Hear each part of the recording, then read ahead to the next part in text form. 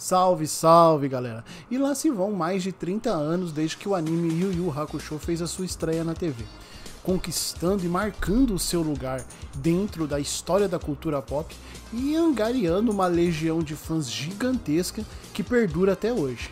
Pensando nisso, a Netflix, que de boba só tem a cara e o jeito de andar, Olá, eu gosto de dinheiro. Decidiu fazer um live action de Yu Yu Hakusho. Na verdade, uma série em live action. Bom, e o resultado disso daí a gente confere junto agora mesmo, logo depois da vinheta. Então, produção, sapeca essa vinheta!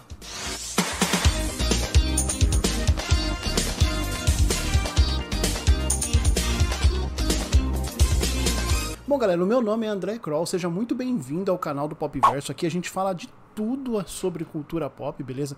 Com vídeos semanais e também com lives todas as segundas-feiras. Então, se você é novo por aqui, eu já te convido a se inscrever nesse canal maravilhoso e ativar o sino das notificações para não perder nenhum vídeo novo aqui do canal. Agora, se você já é inscrito aqui do nosso canal, aí você já conhece o ritual. Senta o dedo no like aí para não esquecer, beleza? E também para valorizar o vídeo e o nosso trabalho, ajudando aí o canal do Popverso a crescer. E não esquece também de compartilhar esse vídeo e conferir todos os links que eu vou deixar para vocês na descrição de outros vídeos muito legais aqui do Popverso, além do nosso podcast mensal aí, que inclusive vai estar lançando dia 20 um novo episódio falando sobre Mamonas Assassinas, tá excelente, vocês não podem perder. Fiquem de olho nas nossas redes sociais, que eu aviso para vocês por lá a hora certinha que esse podcast vai estar disponível para vocês, beleza? Agora, bora falar de Yu Yu Hakusho a série. Exatamente, cara pálida. Galera, esse vídeo contém pequenos spoilers da série, tá? Não tem nada, absolutamente nada que vai estragar a sua experiência. Agora, se você não quiser saber nada mesmo sobre a série antes de você assistir, então eu sugiro que você deixe seu like e feche esse vídeo, beleza? E volte aqui depois que você assistir todos os cinco episódios da série, tá joia? Galera, eu não sei vocês, mas eu recebi com bastante receio essa notícia de que a Netflix iria produzir uma série em live action de Yu Yu Hakusho. É primeiro porque esse é um dos meus animes preferidos, é uma das minhas referências de infância e adolescência, eu que cresci nos anos 90. E segundo porque o histórico da Netflix nessas produções não é dos melhores. Basta a gente lembrar, por exemplo, de Death Note, basta a gente lembrar do assombroso Cowboy Bebop e por que não de Cavaleiros do Zodíaco Seiya, que por mais que não seja um live action, mas é tão ruim quanto os anteriores aí essa nova versão dos Cavaleiros do Zodíaco produzido pela Netflix. Bom, eu que não queria ver um dos meus animes preferidos, favoritos da vida, assim, ser destruído pela Netflix, eu não cheguei nem perto dos trailers. Pois bem, chegou dia 14 de dezembro, a série ficou disponível no Netflix com seus cinco episódios. Uma série curtinha, boa para quem gosta de maratonar a série, maratona rapidinho. Então eu resolvi sentar e assistir essa série e torcendo para esses caras terem acertado aí. E não é que acertaram? Acertou, miserável. A história gira em torno de Yusuke Ramesh, um delinquente que, apesar do comportamento sempre execrável, acaba morrendo num alto de altruísmo e heroísmo, salvando um garotinho de um atropelamento certo. Confusa, a alma de Yusuke é guiada ao submundo por Botan, uma guia espiritual, que conta a Yusuke que seu ato de altruísmo foi tão inesperado que pegou todos de surpresa, não havendo então lugar para ele nem no céu e nem no inferno. Sendo assim, Koema, filho do governante do submundo, faz uma proposta a Yusuke. Ele será ressuscitado com a condição de que ele se torne um detetive espiritual, responsável por investigar e combater anomalias vinda do mundo dos espíritos e do mundo dos demônios no plano terreno. Meses antes da estreia de Yu Yu Hakusho, a gente já havia ganhado um outro live action de um anime barra mangá extremamente importante, extremamente conceituado entre os fãs, que é One Piece, que também foi recebido com a mesma insegurança que os fãs receberam aí esse live action de Yu Yu Hakusho. Mas para surpresa da maioria dos fãs, a série é legal, a série é bacana. Eu pessoalmente gostei bastante, mas veja bem, eu não conheço absolutamente nada de One Piece, nem do anime, nem do mangá. Diferentemente de Yu Yu Hakusho, que eu acompanhei o um anime na época que passou na TV Manchete. Foi há 84 anos. Eu revi ele várias e várias vezes. Vira e mexe, eu tô revendo um pedaço da saga ou outra aqui quando dá saudade. Apenas os mangás que eu não tenho muita referência, só uma ou outra informação. Então, galera, sendo assim, a minha referência nesse vídeo para fazer uma análise da adaptação em relação ao material original vai ser o anime, tá joia? Bom, galera, como a gente falou, a série é curtinha, são 5 episódios, em média 45 a 50 minutos aí esses episódios, tá joia? E isso já sinaliza pra gente que a narrativa é um tanto quanto rápida, um tanto quanto acelerada, um tanto quanto dinâmica. É um ritmo acelerado que começa ali no segundo episódio e vai até o final da série, deixando um espaço ali para um ritmo mais cadenciado, o primeiro episódio, que se preocupa em apresentar personagens, em estabelecer conceitos, eventos e elementos que vão ser importantes para a compreensão não só da mitologia proposta pela série, pela história, mas também para a gente se situar acerca do plot central da história dessa primeira temporada. Como não poderia ser diferente, nesse primeiro episódio o foco central está no nosso protagonista, no Yusuke Urameshi, mostrando um Urameshi um tanto quanto diferente daquele Urameshi que eu conheci nos animes. É curioso a gente ver que ele é muito mais próximo das informações que a gente tem de como o personagem é no mangá, que ele é bem mais mal-humorado do que é o personagem do anime. Os atos delinquentes dele são bem mais sérios do que aquele que a gente vê no anime. Ele bebe bastante, ele fuma bastante.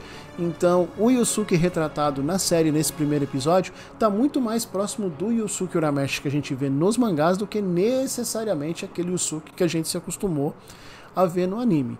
Ainda assim, ele tem um comportamento absolutamente delinquente, é bem execrável, de modo que quem não conhece a história e acompanha os primeiros minutos e a maneira como o personagem é apresentado, se surpreende bastante com o ato de heroísmo dele, evitando que o garotinho seja atropelado ali naquele acidente nos primeiros minutos do primeiro episódio. E essa cena, ela é bem forte, ela é bem pesada, assim, a cena do atropelamento do Yusuke, deixando a entender que a série ia usar, assim, de um certo nível de violência ainda que a censura não seja 18 anos, seja 16 anos a partir desse ato e a partir das conversas que a gente vai vendo o Yusuke tendo não só com a Botan, com o Sr. Koema, mas também com outros personagens da série a partir do momento que ele é ressuscitado. E, gente, isso não é spoiler, tá? Isso tá nos trailers, isso tá no anime, no primeiro episódio, isso tá nos capítulos iniciais do mangá. A estrutura desse primeiro episódio é idêntica, cara, idêntica à estrutura do primeiro episódio do anime. Pô, não tenho como negar que isso já me conquistou logo de cara.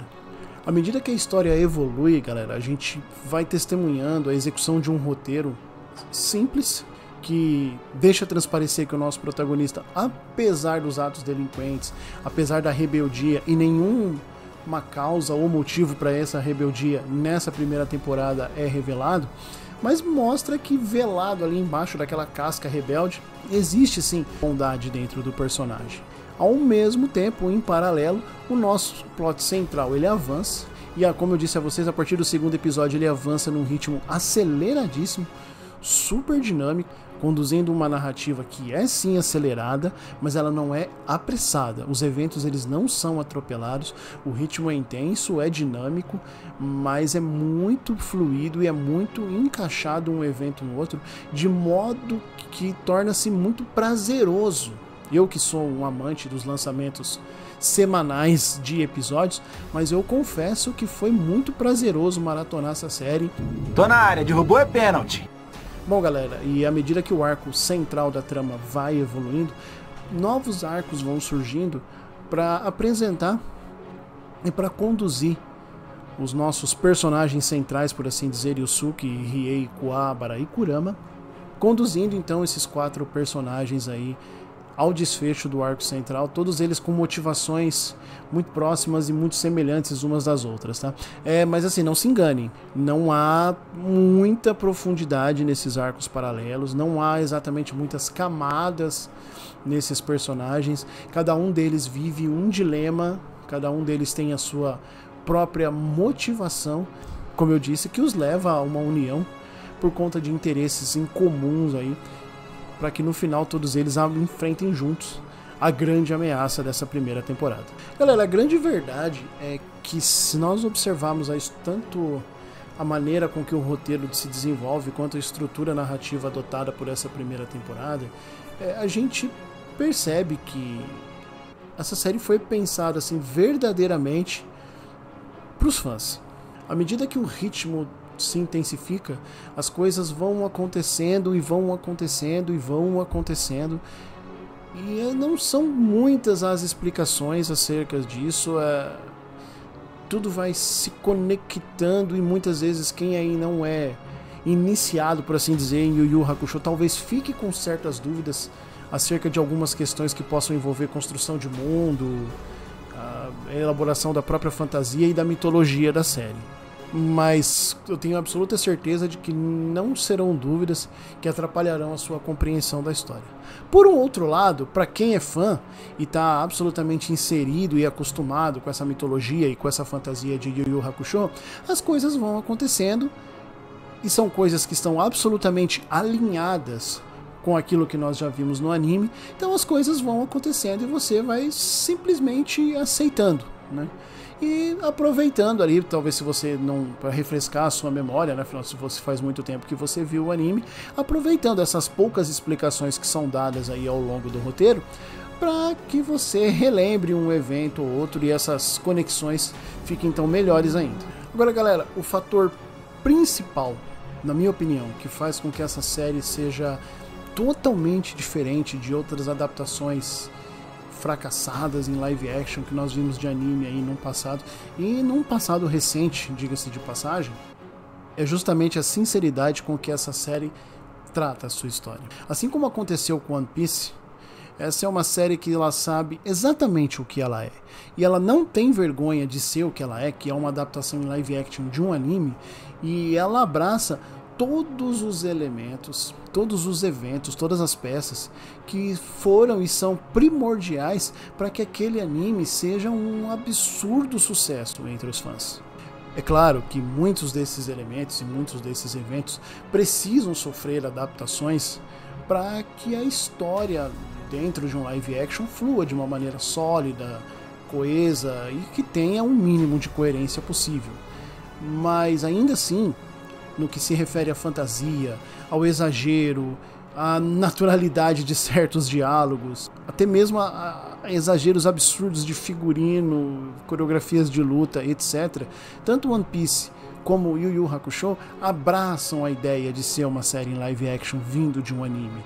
Eles não têm vergonha disso, muito pelo contrário, eles fazem dessa abordagem sincera da sua obra a sua maior força se fazendo valer, galera, de uma sensibilidade refinadíssima para inserir esses elementos na medida, na dosagem certa, para que aquela obra fique absolutamente equilibrada e faça sentido sendo um live action. Entre essas alterações feitas na adaptação, é, teve uma em especial que me desagradou bastante. É, não posso falar aqui porque é um spoiler gigantesco, tá joia? Mas teve uma assim que me desagradou bastante. Se refere a um elemento importantíssimo dentro da batalha do, dentro do arco que envolve a batalha do Toguro contra o Yusuke. Eu senti muita falta. Teve gente que eu já vi em fóruns comentando que, ok, que achou interessante, eu não tiro a razão, eu acho que a eficiência ela existe, mas eu senti muita, mas muita, mas muita falta desse elemento. Quem já assistiu, eu tenho certeza que sabe do que eu estou falando. As demais alterações e adaptações eu realmente acho que foram muito bem feitas, muito bem escolhidas e dão aquele dinamismo para o desenvolvimento da narrativa. Quando a gente olha para os personagens, galera, há uma atenção muito grande nesses personagens, não só no nosso quarteto central, mas também nos outros personagens menores, até personagens com poucas falas.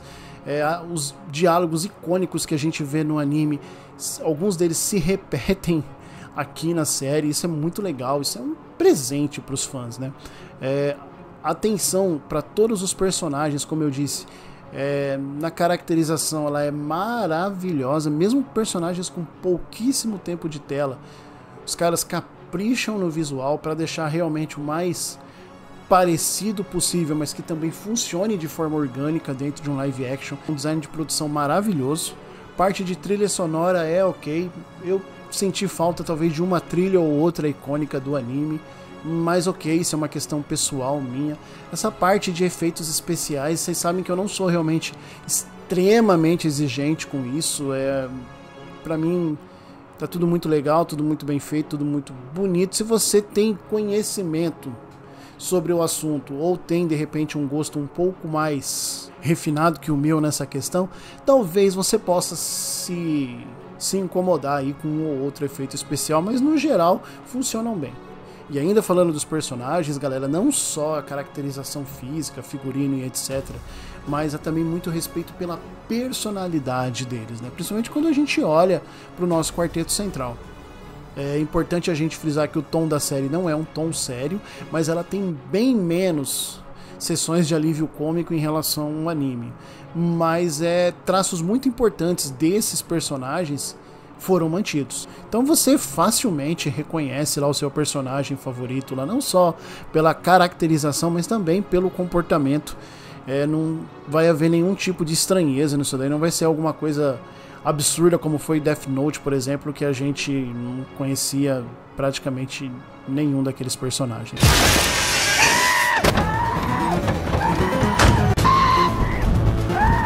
Tá brincando comigo?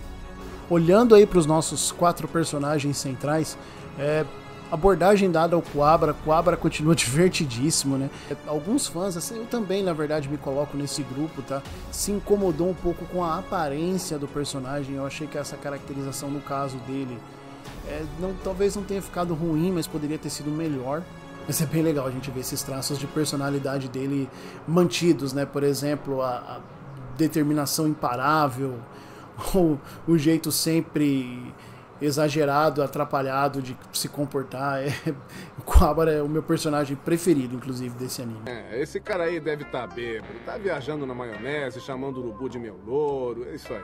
Outros dois que são muito queridos, Riei e Kurama, estão muito bem na série, inclusive, né? A caracterização ficou legal. A gente achou que o Riei pudesse não ter o lance da super velocidade e tal, mas ele tem o lance da super velocidade, como também outros golpes icônicos aí.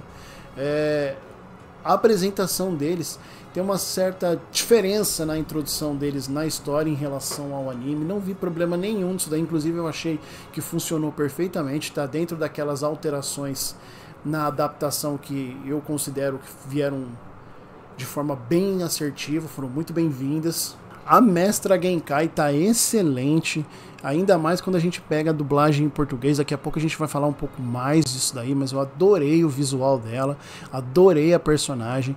É uma pena que ela realmente tenha pouco tempo de tela, eu queria ver mais da Mestra Genkai. É, os antagonistas estão muito legais, não só o Saiko, mas também o time Toguro, cara, a caracterização dos personagens ficou maravilhosa. As suas cenas de luta é óbvio que o destaque vai ficar pro Toguro, né, O Toguro é uma figura emblemática dentro dos amantes de anime. Quem gosta de Yu Yu Hakusho muito provavelmente acha o Toguro o melhor vilão do anime. Inclusive, eu achei que a gente podia ver mais do Toguro. Acho que mais aspectos do personagem poderiam ser trabalhados. A gente podia ver ele mais em ação, trabalhando melhor o lance da, como a gente vê nos animes, o lance da porcentagem de poder que ele aplica para cada luta. E é, um, infelizmente a série é curta, são cinco episódios e acabou não sobrando muito tempo para isso. É, o irmão dele, o, que é o Toguro Ani, ficou maravilhoso o visual do personagem, ficou ainda mais ameaçador, ficou ainda melhor do que ele é no anime. Isso sem falar no cara azul, no Bui, enfim, é realmente a caracterização desses personagens foi muito bem feita. É claro que, né, que o grande destaque da série ficou por conta do Yusuke Urameshi. O personagem é muito bom, é um personagem muito bem escrito, muito bem feito. E aqui na série ele está muito bem representado. É, não só o ator que faz o Yusuke, mas todo o elenco.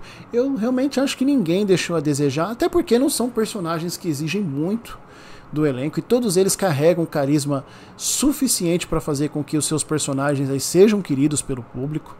Galera, aqui no Brasil a Netflix conseguiu trazer praticamente todo o elenco dos dubladores originais aí do anime, sabe? Lembrando que essa dublagem do anime Yu Hakusho é uma das mais celebradas aí dentro do meio da dublagem nacional. Muito da popularização desse desenho nos anos 90 se deve a essa dublagem, que é cheio de piadas é cheio de tiradas, de ditos populares aqui, típicos do Brasil. É o próprio Eduardo Miranda, ele fala muito acerca de como foi a construção dessa dublagem, tanto com o Marco Ribeiro quanto com o restante do elenco dos dubladores. Eu vou deixar para vocês no card aí a nossa live que a gente fez com o grande Eduardo Miranda. Por mais que seja legal, galera, a gente de repente assistir a obra com o seu áudio original, cara, principalmente para quem curtiu o anime original nos anos 90, dublado e tudo mais, faz muita diferença você ver essa obra dublada porque ela é muito divertida. Galera, outro ponto muito positivo, onde o Yu Yu Hakusho acerta demais, são nas coreografias de luta. Elas são ótimas, as sequências de ação são bem bacanas, as coreografias são bonitas, os golpes têm contundência, é, não tem aquele movimento frenético de câmera, você consegue ver e entender perfeitamente o que está acontecendo naquelas cenas de combate. É, cara, muito bem feito, é muito legal. Ela se difere bastante do live action de One Piece nesse ponto, até porque são temáticas diferentes, né? One Piece ele apela mais para o exagero nas cenas de ação, é justamente por conta da temática, né? É um pirata que estica, é o cidadão que luta com três espadas, né? Uma em cada mão e a outra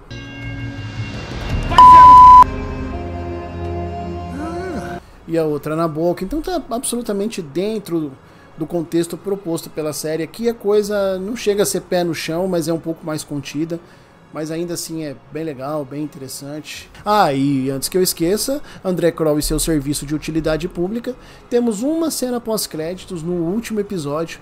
Ela tá ali posicionada logo depois dos créditos principais ali, tá joia?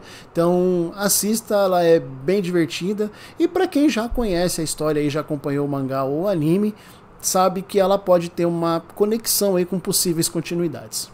Galera, o live action de Yu Yu Hakusho tá longe de ser uma obra-prima, não vai concorrer ao prêmio de melhor série do ano, mas galera, ele acerta na maioria das suas propostas, justamente por entender exatamente o que ele é e não ter nenhuma vergonha disso, muito pelo contrário.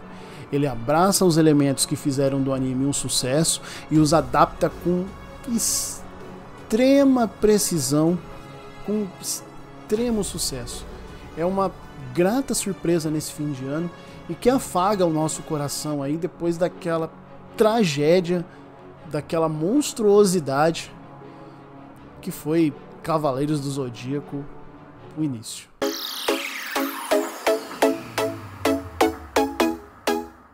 Bom, galera, então é isso. Agora eu quero saber de você qual que é a sua opinião sobre a série. Já assistiu, não assistiu? Vai maratonar? O que, que você achou da série? Deixe a sua opinião nos comentários, sempre de forma educada, tá joia? E lembre-se, cuidado com os spoilers. Se ainda não é inscrito no canal, considere se inscrever, vem fazer parte da família Popverso. Assine o canal e ative o sino das notificações para não perder nenhuma novidade que rola por aqui. E se você já é inscrito, eu tenho certeza que você já deixou o like lá no começo do vídeo, mas se ainda não deixou, a hora é agora. E não esqueça de compartilhar esse vídeo. Você não tem ideia do quanto o seu like, o quanto o seu compartilhamento ajudam o nosso canal a crescer. Então, se gosta do nosso trabalho, dá essa moral pra gente aí, beleza? Eu volto a qualquer hora dessa. Não esqueça de seguir o Popverso nas nossas redes sociais. Aí tá aí passando para vocês na tela aí o arroba Popverso oficial e confira todos os links que eu deixei para vocês nos cards e na descrição do vídeo, beleza? Mais uma vez, muito obrigado e até a próxima. Fui.